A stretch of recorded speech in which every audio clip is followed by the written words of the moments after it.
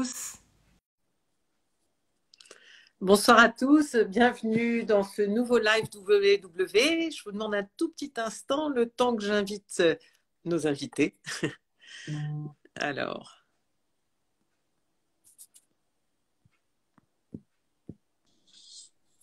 Hello, hello, ça va Sophie? Voilà. Bonsoir Chris. Comment ça va? Ça va bien et toi? Super, alors super. Je suis confiné à la maison parce que j'ai le Covid et toute ma petite famille a le Covid également. Donc voilà. D'autant plus gentil de venir nous rejoindre ce soir euh, malgré tout. Avec euh, grand plaisir. Tu ne seras pas tout seul, on va faire ce live de rentrée avec euh, Véronique que je viens d'inviter et qu'on attend on va, on va pouvoir parler des différents aspects du, coaching, de votre vécu du programme tous les deux, puisque vous l'avez fait tous les deux. Enfin, vous le faites d'ailleurs encore tous les deux. Absolument. Et puis, euh, évidemment, comme c'est la rentrée, on est tous un petit peu euh, submergés par nos activités diverses et variées. Et on verra comment vous faites l'un et l'autre. Voilà Véronique, pour pouvoir. Salut Véronique. Bonjour. Bonjour Véronique. Bonjour Sophie. Bonjour Chris. Hello. Tu nous entends bien? Oui, ça va. Merci. Parfait. Alors, euh, il y a des gens qui écrivent déjà Chris, on t'adore. Euh, pardon, Véronique, peut-être tu verras pas Véronique, on t'adore. Si, si, moi j'en ai déjà vu des Véronique, on t'adore. je t'adore, Véronique. Voilà, d'ici la fin du live, on aura des Véronique que t'adore. Ok, eh justement, alors, euh, bon, Chris, on ne le présente plus, mais il y a des choses que nos, membres ne savent pas. Euh, c'est comment tu suis WW depuis un moment maintenant, combien tu as perdu. Je vais te laisser nous raconter un petit peu ton parcours et puis ensuite, je pense que Véronique, tu vas voir, toi tu ne le sais pas, mais je connais Véronique depuis quelque temps et Véronique est absolument incroyable. Elle a un parcours aussi euh, fabuleux qui ferait rêver n'importe qui. Alors, à toi, euh, raconte bah, moi, moi, en tant qu'ambassadeur euh, Weight Watcher, c'est vrai que j'ai un, j'ai un, un, petit parcours un peu atypique parce que, honnêtement, euh, moi, c'est pas Weight Watchers qui m'a approché, c'est moi qui, qui, les ai approchés parce que j'avais vraiment, vraiment besoin, d'une part, de me reprendre en main, j'avais besoin de me sentir bien. Euh, j'en étais à un moment dans, donné dans ma vie et dans ma carrière où tout, tout ce qui allait se passer, en fait, avait besoin que je sois mais vraiment, vraiment en forme. Et c'est vrai que j'avais, j'avais pris du poids pour plein de raisons pendant de nombreuses années. Et, euh, et en fait, euh, tout ce que je voyais au sujet de Weight Watchers me parlait et je me suis dit, bah écoute, on va voir ce qui se passe. Et ça fait maintenant deux ans que je suis avec l'équipe, que je suis avec toi, Sophie, hein, parce que bon, Sophie est ma coach. Euh, et, et c'est vrai que voilà, moi, depuis deux ans, ce que j'aime bien, c'est que c'est un petit peu ce à quoi je m'attendais, c'est qu'en fait, euh, je suis pas au régime parce qu'avec moi ça marcherait pas du tout, je vous le dis tout de suite. Ah. mais en fait, j'ai vraiment réappris à manger, j'ai réappris à contrôler un petit peu euh, ce qui se passe dans ma vie et pas seulement justement l'alimentaire, euh, parce qu'on va en parler au, fur et à mesure de cette séance. Mais j'ai réappris à dompter un petit peu le sport m'occuper un petit peu du sommeil, de mon bien-être mental. Et en fait, au fur et à mesure, j'ai perdu du poids. Donc maintenant, j'en suis à moins de 10 kilos. Euh, alors attention, moi, quand je dis 10 kilos, c'est. Euh, moi, je les ai perdus, mais c'est quand même en dents C'est-à-dire que c'est. Euh, voilà, c'est entre. Allez, maintenant, entre moins 9, moins 8 et moins 10, moins 11. C'est toujours en fait dans ces eaux-là. Donc voilà, mais c'est vrai que je me sens beaucoup mieux euh, dans mon corps, je me sens mieux dans ma tête et je suis content. Quoi. Il y a déjà des gens qui demandent comment tu fais pour tenir? Bon, Honnêtement, c'est pas si difficile que ça parce qu'en fait, euh, quand on dit pour tenir, c'est comme si en fait on disait mais on t'a enlevé quelque chose d'ultra important. Au, contraire, on m'a réappris à manger correctement et donc j'ai plus d'énergie pour faire tout ce que je fais d'habitude. Euh, moi, moi, ma vie, elle était un petit peu. le standard, c'était toujours. alors, 14 heures, je suis crevé. Euh, même plus tôt que ça. Hein. 10 heures du matin, je suis crevé. 14 heures, je suis crevé. J'étais toujours un petit peu fatigué. J'avais des moments de haut et de bas dans la journée. Et c'est vrai que la grande différence, c'est qu'aujourd'hui, en fin de compte, j'ai pas justement ces hauts et ces bas. Et je pense qu'indirectement, on n'en a jamais vraiment discuté, je pense, mais, je pense qu'indirectement, j'ai repris le contrôle sur euh, le sucre, euh, la glycémie dans le sang, etc. Et tout est beaucoup, beaucoup, beaucoup plus tranquille, quoi. Super. Merci de nous donner ce retour et je pense que pour les gens qui ne le savaient pas, euh, c'est des informations importantes de voir un petit peu comment tu as comment tu as perdu et surtout ce que ça t'a apporté. On va demander à Véronique de nous raconter la fabuleuse histoire de Véronique et Weight Watchers. Bonjour tout le monde. Ben moi j'ai commencé Weight Watchers suite à un, un électrochoc.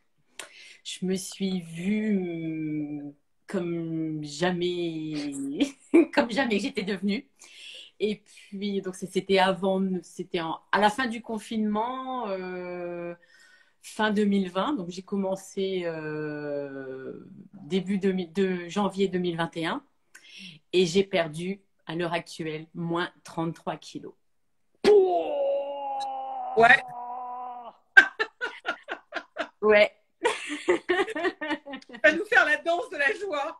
Bravo, bravo, bravo. Voilà.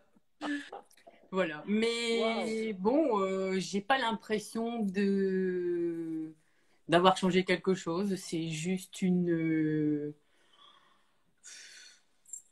une remise en question de l'alimentaire, de, l'état d'esprit, tout. Euh. Vous avez ce point commun tous les deux, c'est-à-dire que tous les deux, on voit très bien que pour vous, c'est complètement holistique comme méthode, c'est-à-dire que c'est pas seulement alimentaire, c'est pas seulement de l'activité physique. Euh, je parle pas forcément de sport, d'activité physique. C'est aussi effectivement l'état d'esprit et le sommeil. Chris en parlait un petit peu, mais le sommeil aussi. Euh, bravo Véro. Tu es membre euh, comment? Qu'est-ce que tu fais? Tu vas en atelier alors moi, moi, ce qu'il me faut, c'est euh, des visios. Moi, les visios, j'en fais euh, plusieurs fois par jour.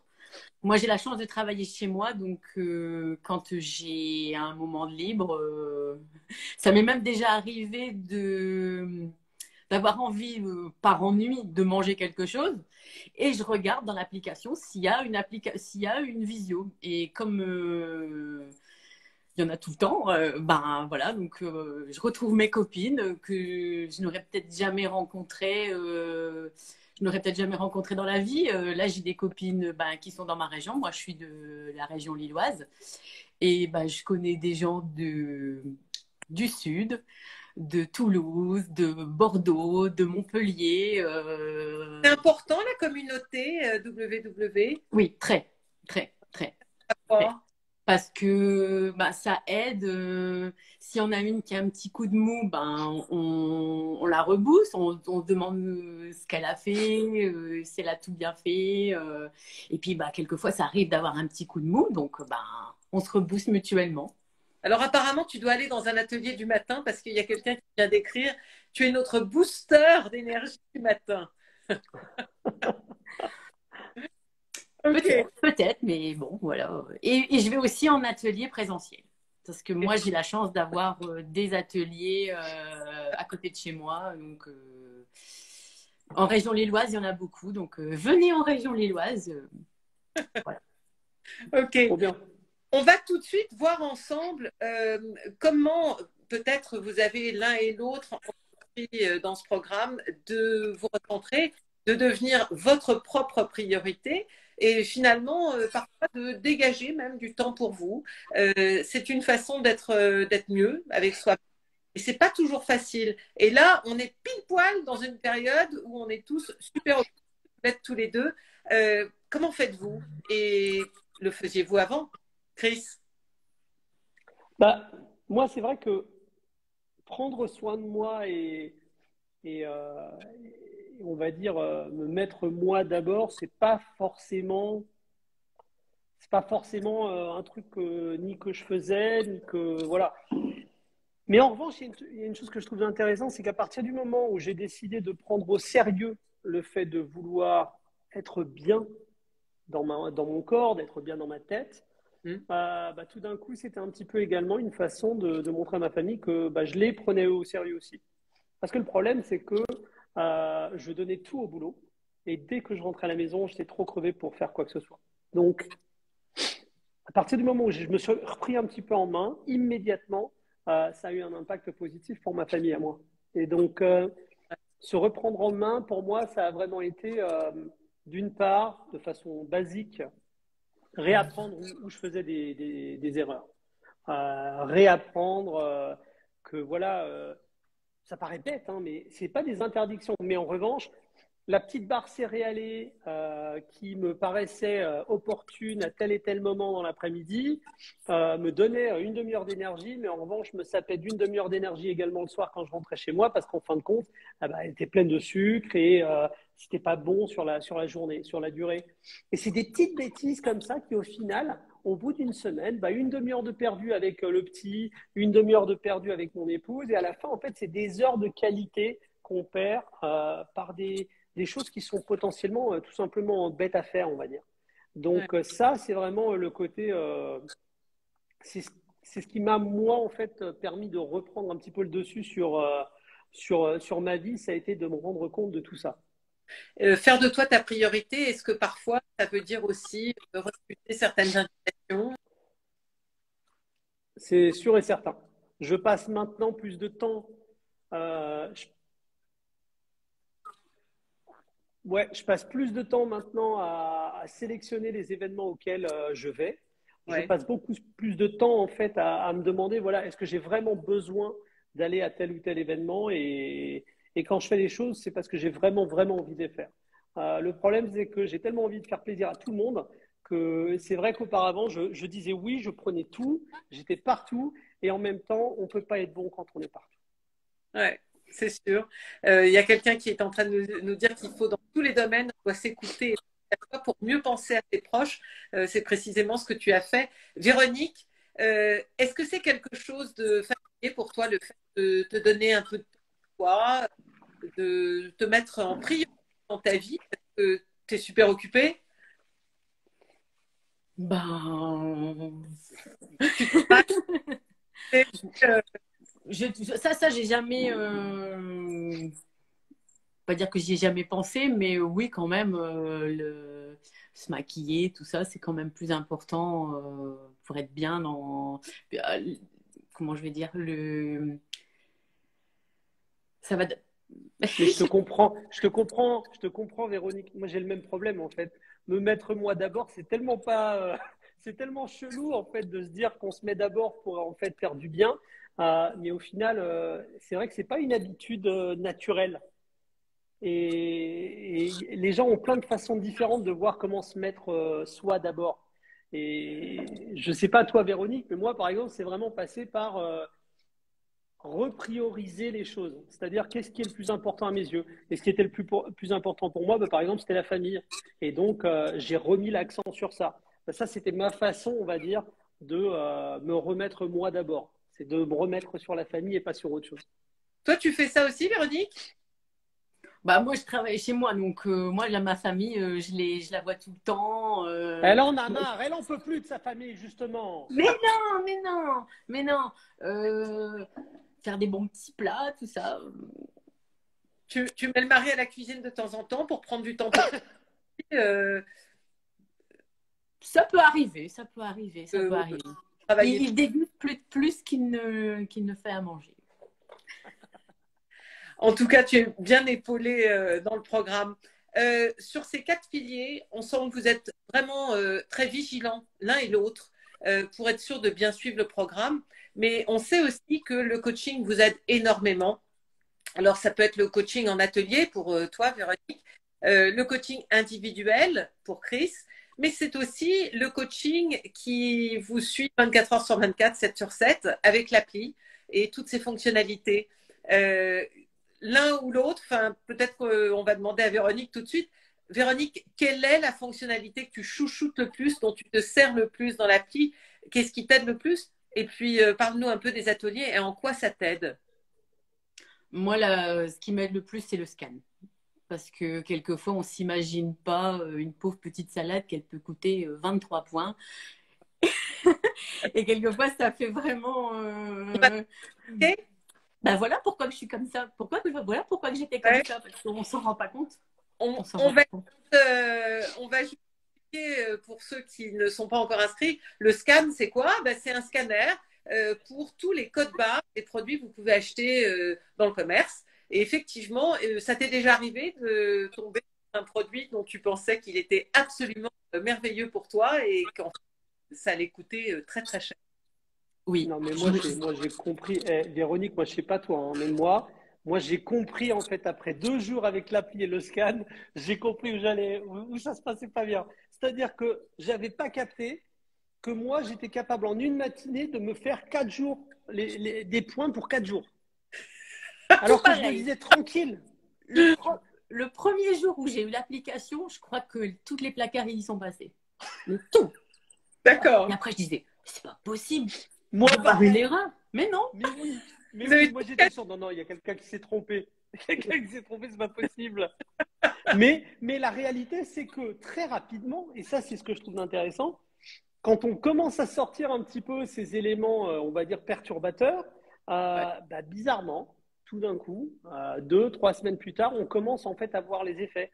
C'est-à-dire que on se rend compte que attends, mais le petit kilo qui vient de partir sans faire trop d'efforts, en fin de compte, c'était uniquement, alors j'ose le dire, cette brioche nature, nature. Mais c'était cette petite brioche que je prenais une fois de temps en temps. Voilà. par exemple, euh, ces céréales euh, au chocolat que je pouvais prendre à 4 heures en me disant que c'était une option sympa, alternative légère. Bah, pas du tout. Au final, euh, on se rend compte très rapidement que c'est des points à gogo. Alors, continuez de manger de la brioche, hein, rassurez-vous, mais peut-être.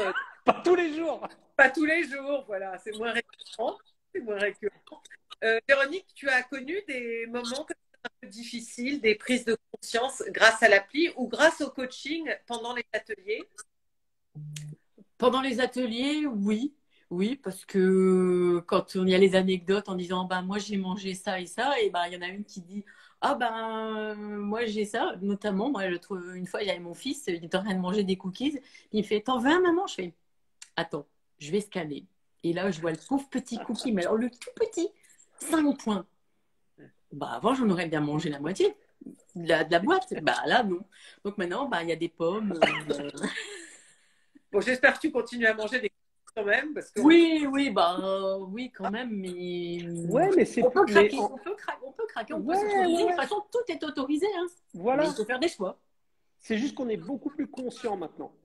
Là où avant, là où avant, effectivement, moi je suis assez d'accord, hein, ça aurait été la moitié de la boîte de gâteau qui serait, qui, serait passée. Bah, c'est vrai que maintenant, le gâteau, quand on le mange, on le déguste et on le kiffe. il, est presque, il est presque de meilleure qualité maintenant qu'il l'était avant. Parce que le seul qu'on mange, on le goûte vraiment. Ah oui, on, le déguste en fait. Exactement. Qu'est-ce qui vous motive l'un et l'autre que ce soit toi, Chris, au cours de nos entretiens, hein, en coaching individuel, ou Véronique dans ses ateliers, quels qu'ils soient, ou encore euh, par la communauté Connect, qui est la communauté Weight Watch. Qu'est-ce qui vous inspire? Qu'est-ce qui vous aide euh, et vous donne l'énergie d'avancer, de continuer, d'être euh, fidèle au programme? Véro, peut-être? Sur Connect, ce qui motive beaucoup, c'est les avant-après les gens euh, qui se prennent en photo euh, témoignages. Et maintenant, les témoignages, ça c'est super parlant et c'est très très motivant. Et quand on commence, on a hâte de poster son, son premier avant-après. Parce que ça, c'est. Les photos, ça parle. Euh, ces 33 kilos, j'imagine que tu les as matérialisés par des photos. Oui. Alors, il y a des ah gens qui c'est mon graphique de poids. Il peut y avoir effectivement, on peut mettre des photos, des graphiques, vous pouvez euh, faire des témoignages. Et ça, c'est partie de l'inspiration. Toi, Chris, d'où tu tires ton inspiration?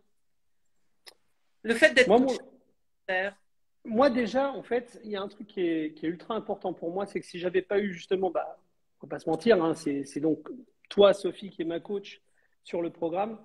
C'est vrai que pour moi, ça a été l'élément essentiel. Euh, quelqu'un qui, d'une part, me comprend dès le départ, fait vraiment attention à, moi et à ma façon de faire les choses, et qui ensuite, en fait, a la force de me dire, voilà, attention, maintenant, si tu veux effectivement, euh, euh, non pas t'en sortir, mais si tu veux faire mieux et te sentir bien, voilà les choses auxquelles il faut faire attention. Mais moi, ce qui m'a beaucoup motivé, ça a été ce côté, euh, c'est ultra personnalisé. alors je sais que l'appli maintenant elle est ultra personnalisée et que tout le monde en fait a, quelque chose de, de, vraiment tailor-made sur mesure. Voilà, donc ça c'est super. Mais c'est vrai que pour moi d'avoir en plus de ça le coaching personnalisé, c'est ce qui m'a motivé le plus. c'est de savoir que voilà, ma vie de tous les jours était prise, était prise en compte, mon activité était prise en compte et, qu'on comprenait que voilà, moi, par exemple, mon petit souci, euh, il y a un truc qui s'appelle les tables régies, c'est tout simplement euh, les tables où on va se ressourcer un petit peu euh, sur un tournage. Et donc là, il y a littéralement le pire de ce qu'on peut trouver dans les, les supermarchés, parce que c'est justement les brioches au chocolat, les chocolats, les bonbons, euh, le café, le méga sucre, etc. Et bien sûr, toujours avec un très très gros pot de pâtes chocolatées euh, que je n'ai pas le droit de nommer. Euh, et, le truc, c'est qu'en fait, voilà, ça, c'est omniprésent. Et, mais il faut comprendre que, que c'est là. Et donc, quand on en a parlé dès le début avec Sophie, elle, le savait tout de suite. Elle m'a dit, voilà, bon, je sais que tu dois trouver un moyen de faire attention à ça, tu dois trouver un moyen pour justement ne pas tomber dans le panneau euh, pendant, euh, pendant les répètes, pendant les tournages, ben moi, ce qui m'a motivé, c'est le fait d'avoir quelqu'un en face de moi qui comprenait, avec qui je pouvais parler et avec qui je pouvais justement juste échanger mes, difficultés, parce que je pense que tout le monde voit euh, les programmes comme quelque chose qui doit être d'une part immédiat et facile. Facile, oui, mais les résultats immédiats, non. Ça, je pense que c'est le truc où il faut juste un petit peu s'enlever, il faut arrêter de se mentir un petit peu. On ne va pas passer d'un jour à l'autre à moins 10 kilos. Euh, ça, je pense que c'est vraiment, euh, si on pense à ça, on est voué à l'échec. Moi, je suis parti du principe que ce que je voulais, c'est réapprendre à manger, oui, perdre du poids, mais surtout me sentir bien très vite. Et pour le coup, se sentir bien, eh ben, je trouve que ça arrive vite. Ça, en l'espace de quelques jours, c'est quand même assez dingue. Euh, quand on réintroduit justement tout ce qui est fibres alimentaires, grains complets, qu'on commence en fait à rééquilibrer un petit peu ce qu'on mange, bah, c'est vrai que je trouve que l'humeur revient très très rapidement. Bah, ça, c'est des effets rapides, des effets ultra motivants. Euh, je ne me rappelle plus de ta question, mais ne dis pas que j'ai le Covid et donc mon cerveau ne marche pas correctement. Mais c'est pas grave. L'importance parce que ce que tu dis est intéressant. Euh, en fait, ce que tu décris fonctionne une spirale ascendante euh, vertueuse, hein, puisque on sent que mieux ça va et mieux ça va encore. Véronique, en, l'espace, tu as eu le temps de voir cette spirale se construire euh, et t'emmener vers le, haut et t'emmener nouvelles choses.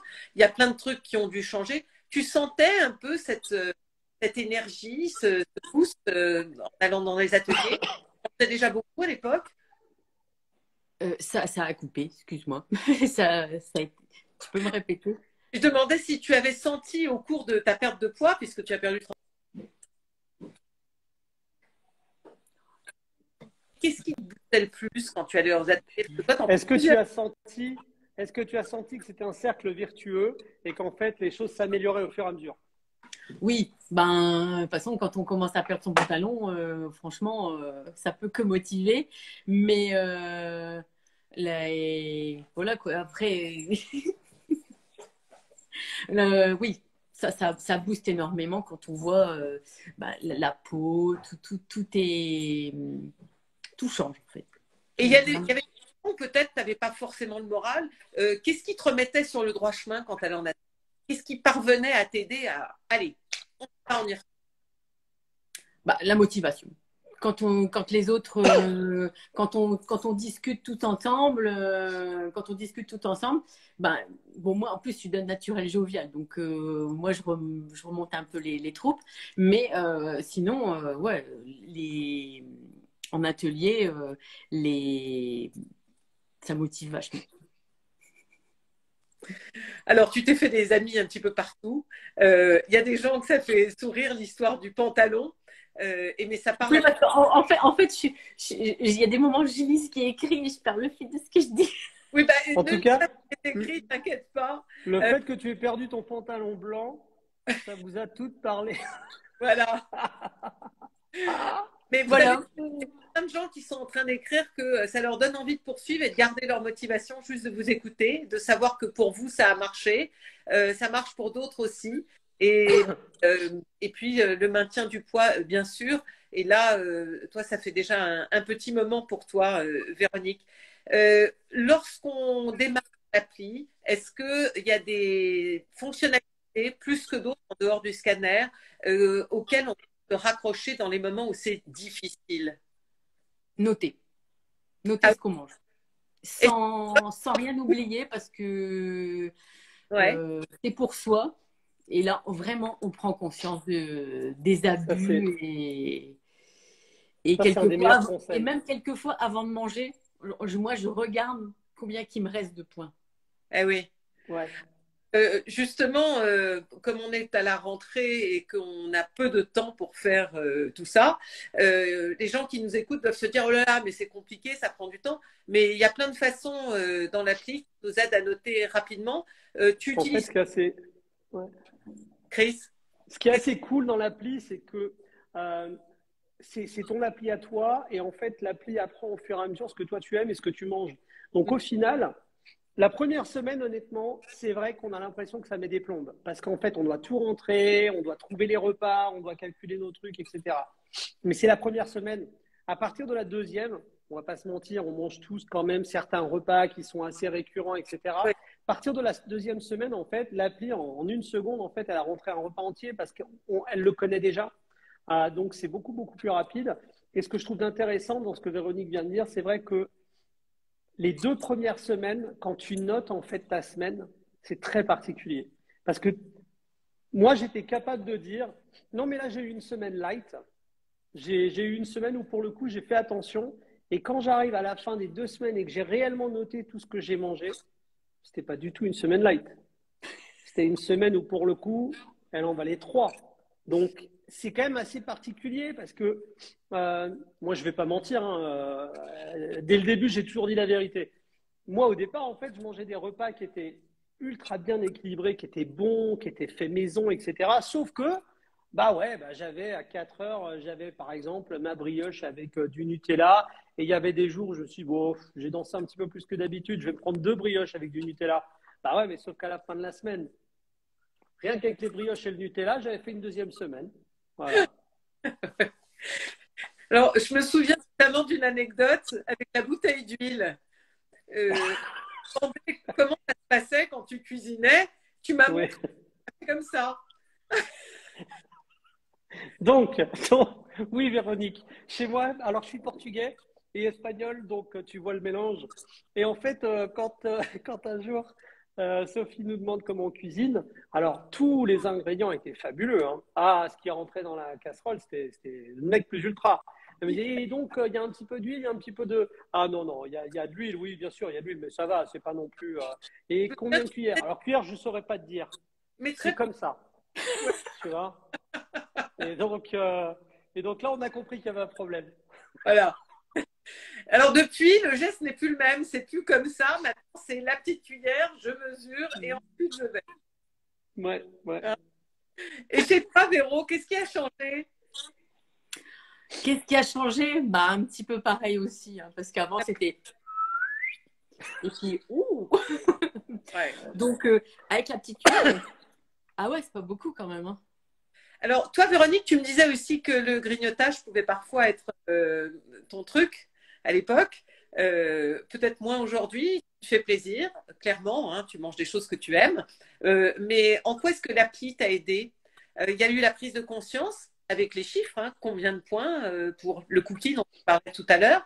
Est-ce que tu prends encore chaque semaine un objectif? Est-ce que tu utilises le check-in wellness de l'appli pour pouvoir te mettre ton objectif, etc.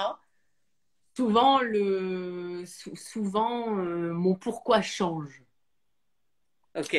J'ai plus le même pour, pourquoi j'ai pourquoi j'ai fait euh, ce rééquilibrage. Ouais.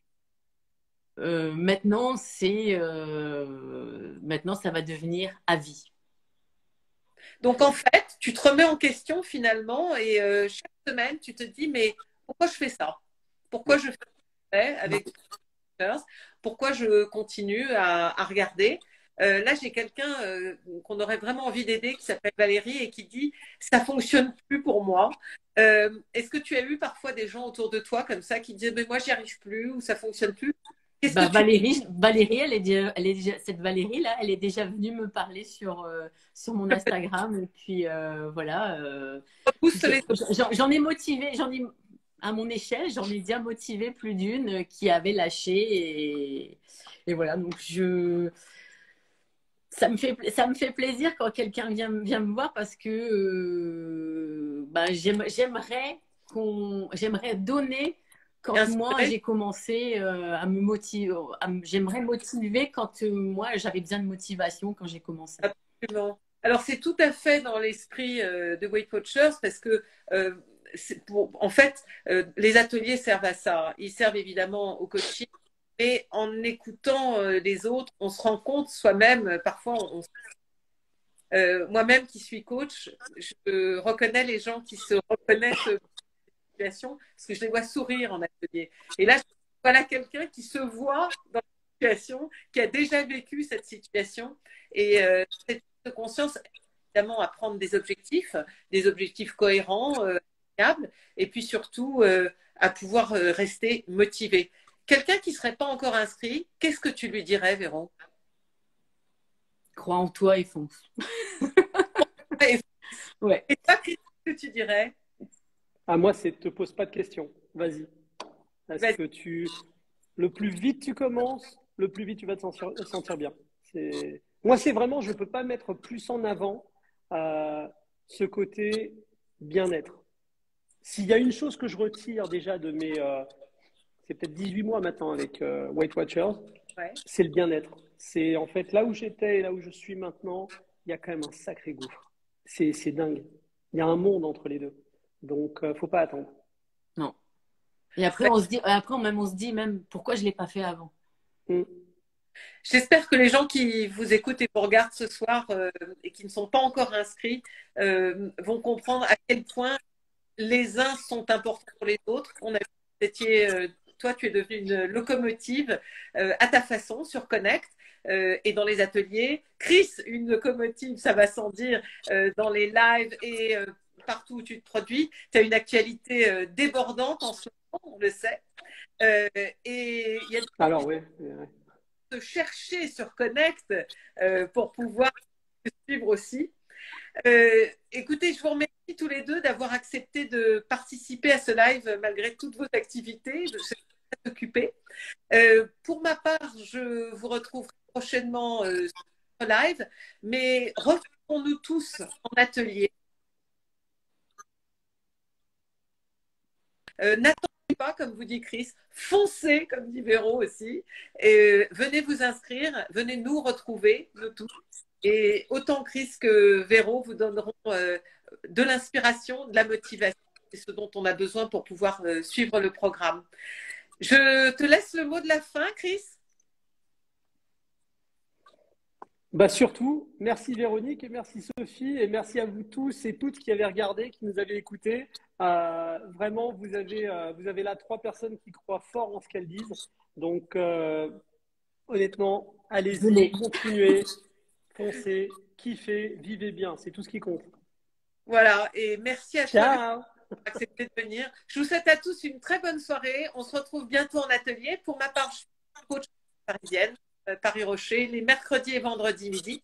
Et en visio, on peut tous se retrouver. Il y a des gens de partout, du nord, du sud. Euh, pour ma part, le mercredi soir à 18h30. C'est Sophie Y sur le National Calendar. Je vous souhaite une très belle soirée à tous. À très bientôt et merci de votre participation. Merci. Bye bye. Ciao. Au revoir tout le monde.